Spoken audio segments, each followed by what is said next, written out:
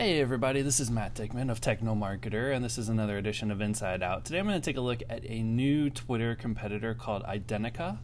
Uh, Identica basically is an open source version of Twitter, um, where you can take the software that they're running on this and basically create your own uh, like internal Twitter client. So you could use it inside of company firewall, uh, or you could create a public facing one like Identica. So the, the premise is the same.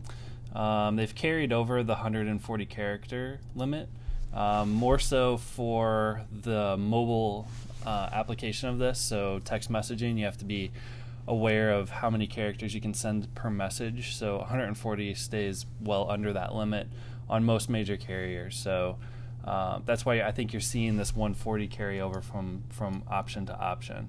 So Identica, it's fairly straightforward. Um, the timeline is the same, so you have this public timeline. Uh, you can update.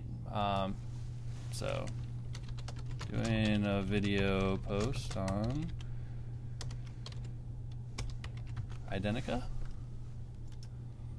So as soon as you update that, it jumps down into the timeline, refreshes the rest. Um, when you look at the actual profile for a person, it's set up a little bit different. Uh, you know, it's still got the same basic information, where you are, um, so some statistics, that kind of thing, and kind of gives your timeline below, so in your own profile. So it's just another way to look at it.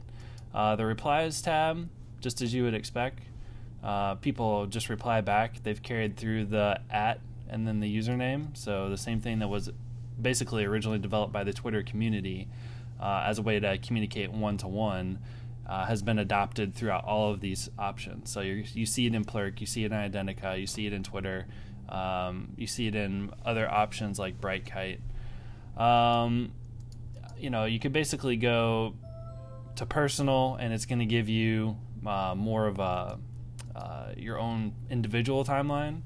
So it's it's got all the options. Um, you know, there's a public tab. What when this first came out, people were basically saying that you know it's more stable than Twitter, and of course, what happened was all the Twitter users or a large portion of them went over, crashed Identica, jumped back to, to Twitter, and there was no real major switch. So this kind of just peaked last week.